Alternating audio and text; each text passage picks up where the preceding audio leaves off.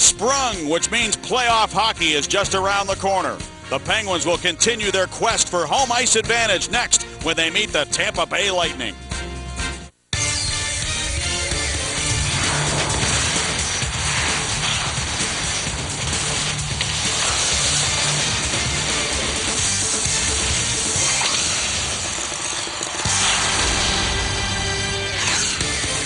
Defenseman Brooks Orpik drew high praise from coach Michel Therrien today for his work alongside Sergei Gonchar. He'll have the challenge of facing Vinny Lecavalier, Martin St. Louis, and the Tampa Bay Lightning here tonight in Pittsburgh. Free down the left wing. Moved it back. Now it'll come to Orpik and a slap shot kicked out by Smith. Rebound. Score! Jarkko Ruutu scores. I think he might have taken a stick in the face. He did. He's cut. But he's got a goal, and the Penguins lead at one to nothing. Yeah, they got to take a look at this right now. The linesmen, all four officials are together. Ruutu was chopped in the face as he put that big fat rebound off the pads of Mike Smith into the cage. Watch this, setting the table. Talbot to Orpik. He just gets it on the net. That's all it takes. And Ruutu following up, gets his stick on the puck before Dan Boyle does. Dan Boyle now is a minus 18 on the season. He signed a big fat contract because he can put offensive numbers up but he talked about being embarrassed. Well, it was his stick that gets into the stick, into the mouth of Ruutu. And Ruutu's a tough guy, but he's not a beaver stag, and he wasn't trying to eat wood there. He looks around, he's looking for a penalty after scoring the goal. And I'll tell you, that was a beautiful rebound opportunity after a great shot by Brooks Orpik from the point. Yeah, you just get it on net, eh, Staggy? I mean, how many times do you say that? You're not really shooting to score from down there. You're shooting to get some kind of advantage, and that was a big fat rebound off Smith's pads.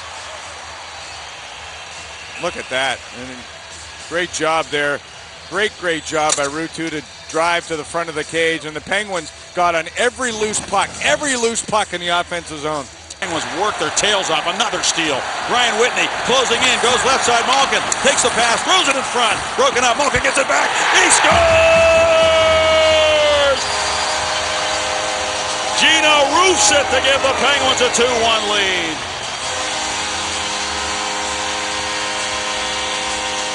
Well, you got to take a look at the hands of Malkin just to corral that pass from the point. The pass was to his backhand. He turned the hands over so quickly as he received that puck from the blue line down. Right there, gets it back, turns it over, and gets it high over Smith, who tries to get that right pad up. There, look at him take that pass initially. Kuba slides down, Puck comes right back to Malkin like a magnet, and Malkin's able to just loft that puck on the backhand right over top of the fallen Smith.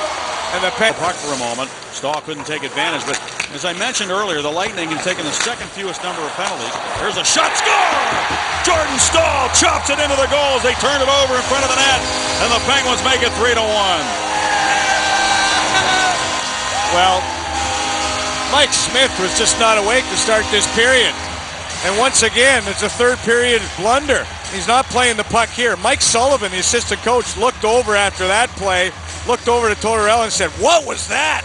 And then they turned the puck over again. Dupuis, with his quick speed, almost scores there. And Mike Smith out of position to play the second opportunity. And we've seen on all three Penguin goals that Mike Smith has been unable to make the second save. He's been out of position on all three Penguin goals. And I'll tell you, Dan Boyle, who's a minus 17 coming into the hockey game, had a chance to rifle that puck out of danger, and it came right back to the front of the net. And Staal took advantage and was able to pop it. In. Another score! Sikora rips it into the goal.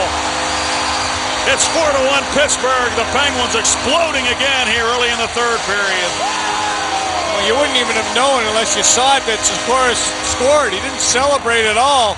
And the Steel City Lions on the board for the second time tonight. Malkin dangling with the biscuit. Look at that pass. I mean, it's an area pass. It's right in the wheelhouse of Sikora. In a one motion, he just goes five hole on Smith, who's moving. And I guess they will leave Smith in the net like they left Ramo in the net last night. And there's two quick goals by the Pens. And boy, some things just never change. Malkin, three seconds ago with an empty net. Malkin moves to the middle. He's got a man open. It's Hossa. He doesn't get the goal, though. The green light went on before he shot it. He took one extra stride before he shot the puck. I don't believe he'll get the goal, but the Penguins will win it by a score of 4 to 2. And Marc Andre Fleury will get the win. What a third period for the Pittsburgh Penguins, scoring two goals in 16 seconds. And then absolutely getting one great chance after another against Mike Smith.